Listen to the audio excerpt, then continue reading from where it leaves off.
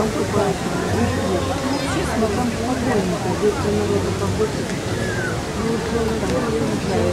же сюда ездила купаться, я вон там всех